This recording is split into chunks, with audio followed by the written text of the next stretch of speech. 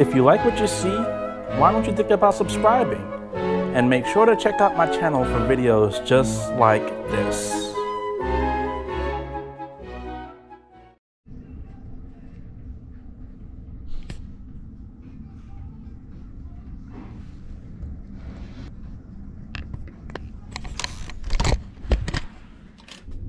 Alright, what is going on people? It's your boy Mr. Bucketlist here.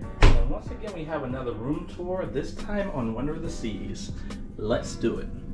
And let's do it with the bathroom first. So as you can see it has this little sign right here. Please be mindful of the ledge. Now one thing I was disappointed about the bathroom was when I first walked in clearly a piece fell off of the shower and it's just like man this ship has barely been in service for a, a month like it's literally April 1st it started sailing last month that's ridiculous um, but either way, the bathroom itself is not bad. It's pretty nice. Of course, you have your standard shelf stuff, and then you have the shower itself. And it does include the double hair and body wash. Last time when I was on the ship, for some reason it was empty and they didn't refill it, so I'm not really sure what's going on, but it is there if you forget to bring your own stuff. One thing to also know as well is that these doors just slam. I heard somebody else say it in one of their videos. I thought they were just being dramatic. They're not. These things slam no matter what you do. So keep that in mind. The next thing is we're gonna go to the closets. So you also have a both his and her closet. This is you got on both sides. The only difference is this one has a lot more just hanging space. Other one actually has shelves. So like I said, it just really depends on who you're with and what you have. But you do have these. On this side over here, you also have these little cubbies. You have your safe, which is free to use. And then of course you have your um, hangers and stuff. That's some other little things down there. The next thing is, is this little couch. Um, so I use these, it really depends on who I'm with or if I'm with anybody at all. Um, I don't really use it that much, but it is cool to see in this room. Just like a little nice little hangout spot. Excuse me. The next thing we have is the desk. And so this desk is actually a good size. As you all can see, I actually have double laptops on it. Still more than enough room for everything. Um, the, the most important part, of course, is the outlets. So let's just go ahead down the list. You got one, two, and then you got the European. You got two USB plugs, and then you got one more over here. So I mean, it's pretty stacked.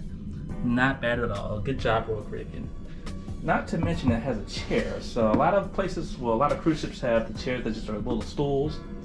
This you can actually do work with and not get a, a backache. With the stools, it gets uncomfortable after about 10 minutes. So really good. Next is, of course, the dresser. Now, when you first walk in, they're going to have everything spread out. So for me, for example, um, I have the internet package because it came with this right here, the key. So I mean, you have the key, excursion tickets, your daily planner. Everything is going to be kind of waiting there for you. So if you want to pick it up and read it, it, is there. And then of course you have your drawers and stuff right here.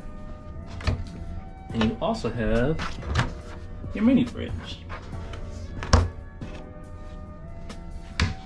Alright, so if we keep on moving on, the next thing that I really applaud is the actual TV. So I was on an older ship, the Mariner of the Seas, and the TV was like in this corner, and it just it was really uncomfortable to try to watch TV. But this one's directly from the bed, so I mean it's not bad. Obviously the bed's a nice good size, it's just me, so not bad at all. Now this actually makes me happy.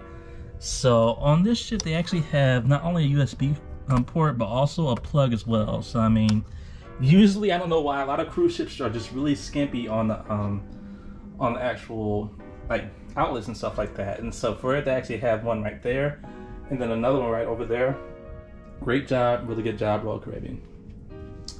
And then the last thing I want to go over, and I apologize, y'all, I'm just extremely tired, but is this view. So last time when I was actually on the Symphony Seas, which is the sister ship, I was in one of those rooms across the way. It's called a um, balcony a Central Park balcony room.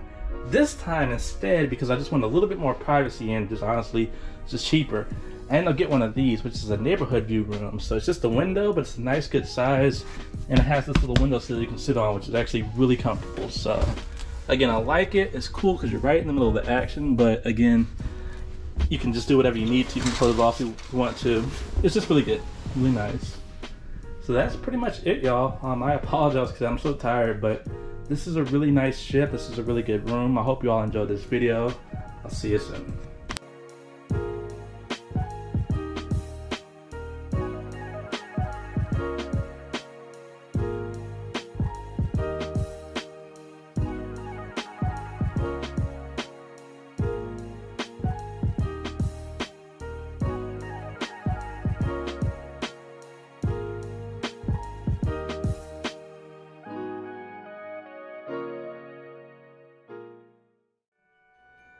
Thanks for watching the video. If you like what you saw, please check out my channel for more videos just like this. Make sure to hit that subscribe button. Until then, I'll see you next time. Peace.